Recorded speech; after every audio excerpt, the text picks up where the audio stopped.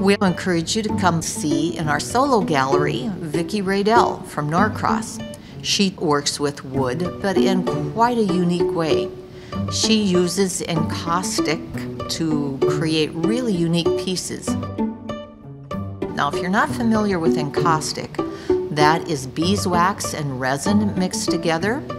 And Vicky takes unusable pieces of construction lumber that has imperfections and dresses it up with the encaustic wax, crystals, and paint, and comes up with just some fantastic pieces. If you're interested in adding to your collection, this might be a good chance to pick up some very unique pieces from a very talented artist.